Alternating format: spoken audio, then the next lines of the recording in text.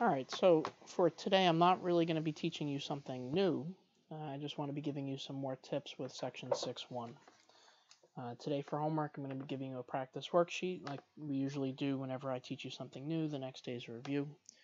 But let me just go over a few things here. Today is the 8th. And this is section 6.1. We'll call it graphing, trig functions.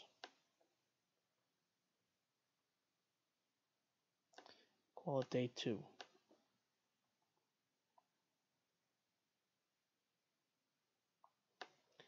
And uh, we talked about this before. We know that sine and cosine look like waves. The amplitude is 1 and the period is 360. We know that cosecant and secant are alternating parabolas. There's no amplitude. I don't want you to say zero, I want you to say none. And the period for these are 360. I don't like the wave I drew here.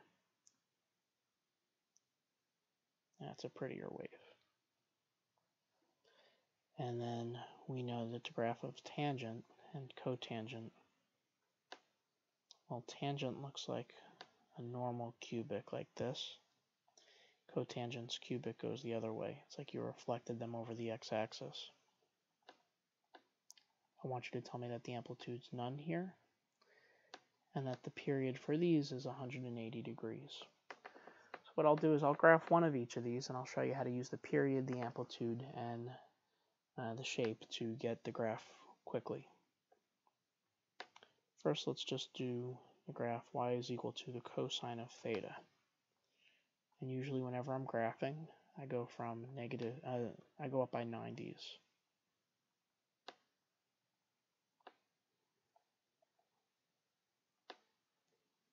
I'll go between negative 360 and positive 360.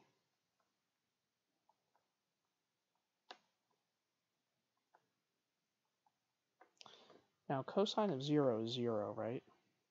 And what's the period of cosine?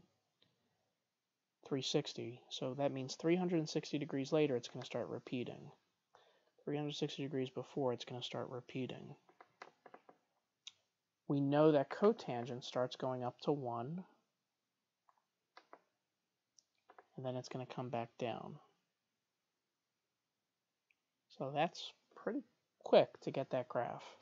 If we continue this pattern, it's going to go down to negative 1, 0, 1, 0. So you can see I'm using the shape, the period, and I know it goes between 1 and negative 1, and that's a quick way to graph cosine. Similarly with secant.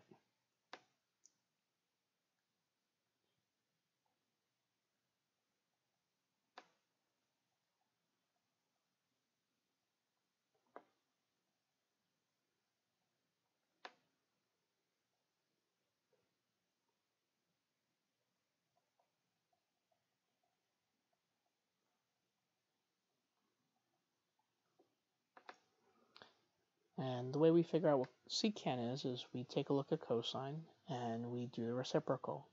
So looking at 0 degrees, I know cosine 0, so secant would be 1 over 0, which is undefined. Now, to draw this quickly, the period of secant is 360, which means 360 degrees later, it's undefined, and 360 degrees before, it's undefined. We also know that secant's alternating parabolas. So when cosine is 1 right here at 90, this would also be 1. 1 over 1 is 1. Then it's got to go undefined and then negative 1 before you get to that 360 asymptote. So eventually you'll learn that the graph looks like this, asymptote, and then negative 1. And then it'll repeat. If we copy this from 0 to 360, we could paste that over here. And the pattern repeats, so you don't want to draw another up here because it's not alternating. That would clearly be down from negative 1 and then up out 1. That would be a quick way to draw secant. And then we could finish with tangent. Short lesson today, kind of like me. I'm short, in case you missed that.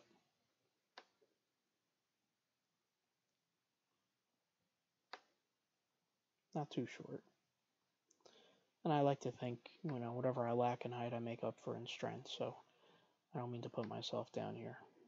I'm not trying to be self-deprecating. That's what it's called. But uh, anyway. Okay. Tangent. After a certain while, I mean, you're seeing this for the first time here, but after a while, you, you need to know that tangent looks kind of like this in the beginning. It's undefined at negative 90 and at positive 90. This is 180 degrees. So if we literally copy and paste this,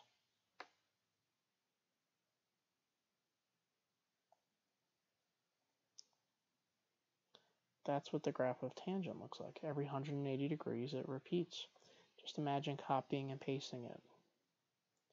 That's what I want you to do for homework. I would like you to please take a look at practice 6-1. All right, uh, please try all the problems. You know, there's going to be a problem where it asks you when's tangent 0? When is tangent of theta equal to 0? We'll look at the graph right here. That's the first time it's 0. The way that we said on the last homework we answer this is you put the first answer and then you always put plus the period.